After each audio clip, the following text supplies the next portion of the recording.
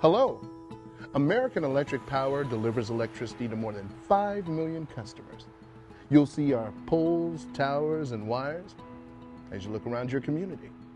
They're along the streets in your neighborhood and even in your backyard. These wires deliver electricity to power your daily life. But we also want to make sure that you know how to stay safe around these wires.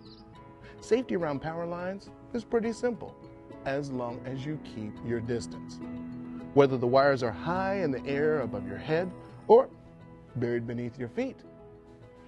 Stay at least 10 feet away and keep anything you're holding a minimum of 10 feet away.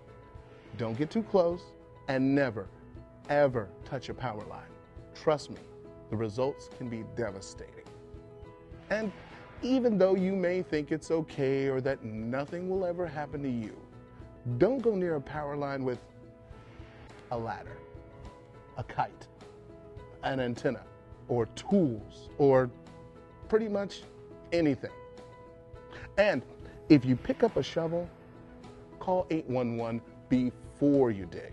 So the location of any underground utility cables will be marked.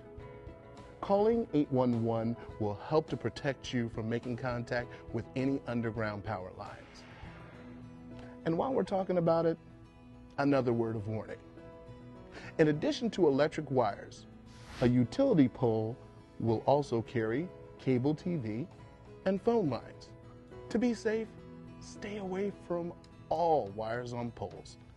If an electric wire should fall or a pole gets knocked down, putting a power line on the ground, please understand an electric wire can energize cable TV and phone wires or any other object simply by making contact.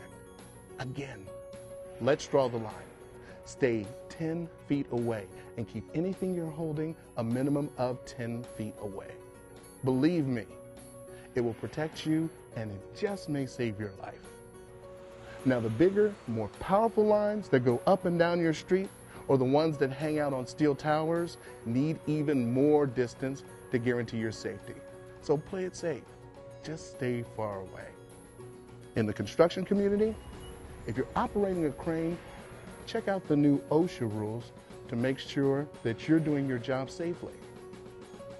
Power lines safely and reliably deliver electricity, but in the wrong conditions, there can be danger too.